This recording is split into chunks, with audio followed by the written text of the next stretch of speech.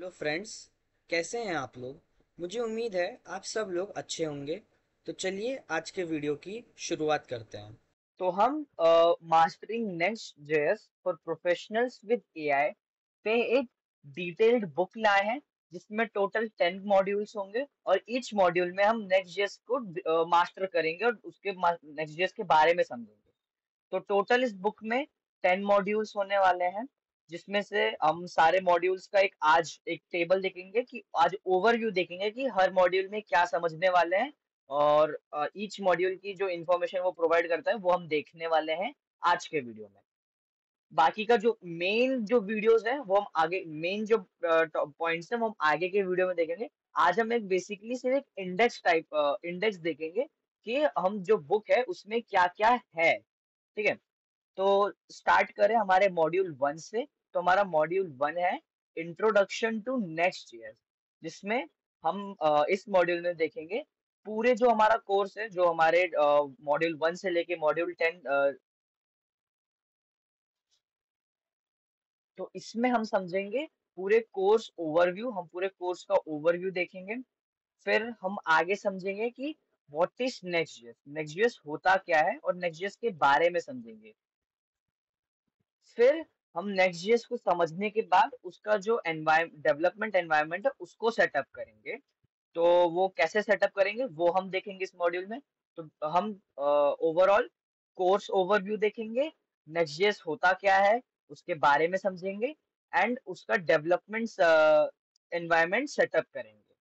ये हुआ हमारा मॉड्यूल वन फिर हम हम अपने मॉड्यूल टू की तरफ़ बढ़े तो उसमें हम नेक्स्ट जीएस के कोर कॉन्सेप्ट्स को समझेंगे। जैसे पेजेस एंड राउटिंग तो पेजेस एंड राउटिंग में हम समझेंगे कि पेजेस क्रिएट कैसे करते हैं, फिर राउटिंग में हम स्टैटिक वर्सेस डायनेमिक राउटिंग के बारे में समझेंगे और नेस्टेड राउट्स के बारे में समझेंगे। फिर हम स्टैटिक जनरेशन जिसको एसएसजी बोलते हैं एंड सर्वर साइड रेंडरिंग जिसको एसएसआर बोलते हैं, उसके बारे में समझेंगे। और इन दोनों के अंदर और एक होता है आईएसआर जिसको बोलते हैं, जिसका फुल फॉर्म होता है इंक्रीमेंटल स्टैटिक रीजनरेशन वो भी हम इसी पॉइंट के अंदर समझेंगे। फिर हम एपीआई राउट राउट्स के बारे में समझेंगे। जिसमें एपीआई राउट्स के अंदर हम समझेंगे कि एपीआई राउट्स क्रिएट कैसे करते हैं। फिर एपीआई राउट्स को हम यूज़ कैसे कर सकते हैं अपने एप्लीकेशन में। And middleware in API routes को हम समझेंगे। फिर हम डेटा फेचिंग के बारे में समझेंगे जिसमें uh, हम डेटा को कैसे फेच कर सकते हैं पेजेस में वो समझेंगे। क्लाइंट साइड डेटा फेचिंग को समझेंगे and handling of API errors इसको भी हम समझने वाले हैं। तो ओवरऑल हम कोर कॉन्सेप्ट्स मॉड्यूल टू में पढ़ेंगे pages and routing static generation and server side rendering फिर API routes and data fetching फिर हम अब अपने मॉड्यूल थ्री की तरफ़ बढ़े। तो मॉड्यूल थ्री में हम स्टाइलिंग इन नेक्स्ट के बारे में समझेंगे, जिसमें हम समझेंगे C S S and S and Sass जिसमें हम सी एस एस को कैसे यूज़ कर सकते हैं जावास्क्रिप्ट में, वो समझेंगे। फिर global styles versus component level styles के बारे में समझेंगे। And using Sass with next year इसको हम समझने वाले हैं। फिर हम समझेंगे C S S in G S Java JavaScript solution तो उसमें हम स्टाइल्ड कंपोनेंट्स के बारे में समझेंगे इमोशंस एंड टेलविंड सीएसएस की इंटीग्रेशन के बारे में भी समझने वाले हैं। तो ये आ, हम अपने मॉड्यूल थ्री में पढ़ेंगे स्टाइलिंग मॉड्यूल थ्री में समझेंगे स्टाइलिंग इन नेक्स्ट ईयर फिर अगर हम अपने मॉड्यूल फोर की तरफ़ बढ़े तो वो है एडवांस्ड फीचर्स जिसमें जिसमें हम इमेज uh, ऑप्टिमाइजेशन के बारे में समझेंगे उसमें नेक्स्ट uh, या इमेज कंपोनेंट कैसे यूज़ करते हैं वो सब समझेंगे फिर इमेज ऑप्टिमाइजेशन स्ट्रेटेजीज के बारे में समझेंगे और उसके बाद रिस्पॉन्सिव इमेजेस को हैंडल कैसे करेंगे, हम वो भी समझेंगे। फिर है कस्टम डॉक्यूमेंट एंड ऐप तो कस्टम डॉक्यूमेंट एंड ऐप में हम डॉक्यूमेंट डॉट जेएस को कस्टमाइज कैसे करेंगे, फिर उसके बाद कस्टमाइजिंग ऐप डॉट जेएस जो हमारे नेक्स्ट जेएस में होता है, उसको कैसे कस्टमाइज करेंगे। फिर global Meta data and styles के बारे में जो ऐड कैसे करें, वो समझेंगे। फिर मिडलवेयर एंड एज फ़ंक्शंस जिसमें हम इंट्रोडक्शन टू मिडलवेयर देखेंगे नेक्स्ट जेस में मिडलवेयर का इंट्रोडक्शन देखेंगे, और उसके बाद जो एज फ़ंक्शन है, उनकी राइटिंग उसको कैसे लिखते हैं और उनकी डिप्लॉयमेंट को देखेंगे, ठीक है? फिर है इंटरनेशनलाइजेशन आई एटीन एन जिसमें हम setting of setting up internationalisation देखेंगे, कि इंटरनेशनलाइजेशन को हम सेटअप कैसे करें, फिर मल्टीपल लैंग्वेजेस को मैनेज कैसे करें और रूट्स को लोकलाइज कैसे करें, ये सब हम देखेंगे इंटरनेशनलाइजेशन में।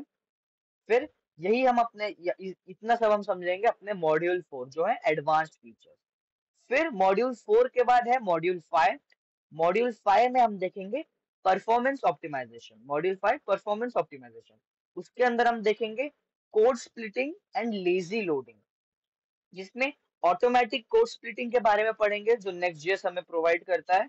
और dynamic imports and lazy loading lazy loading components के बारे में हम समझेंगे। फिर है ऑप्टिमाइजिंग परफॉर्मेंस जिसमें हम एनालाइज uh, करेंगे और ऑप्टिमाइज करेंगे अपने बिल्ड साइज़ को। फिर हम थर्ड पार्टी स्क्रिप्ट्स को कैसे लोड करें वो भी देखेंगे। फिर परफॉर्मेंस प्रोफाइलिंग के बारे में भी हम समझेंगे uh, अपने ऑप्टिमाइजिंग परफॉर्मेंस में।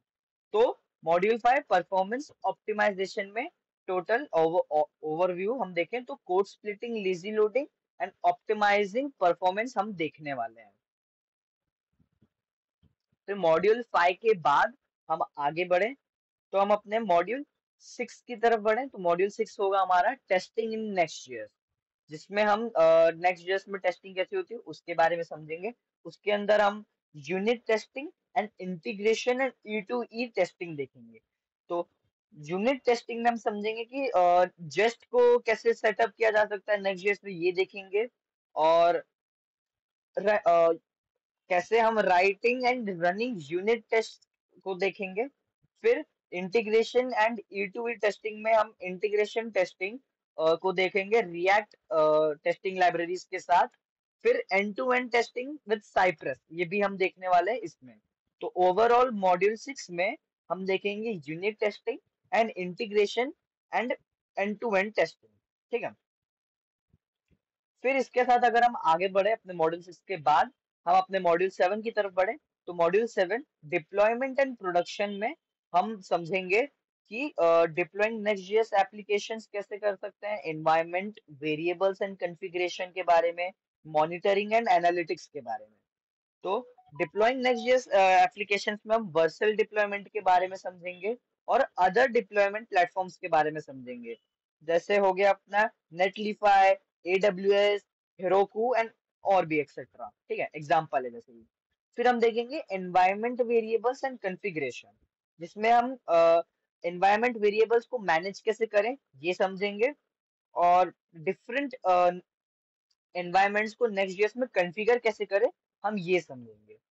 फिर है अपना मॉनिटरिंग एंड एनालिटिक्स जिसमें हम uh, हम नेक्स्ट ईयर्स में इंटीग्रेटिंग विद मॉनिटरिंग टूल्स कैसे कर सकते हैं फिर एनालिटिक्स कैसे ऐड कर सकते हैं ये सब हम इसमें समझेंगे। तो ये था हमारा module seven deployment and production के बारे में।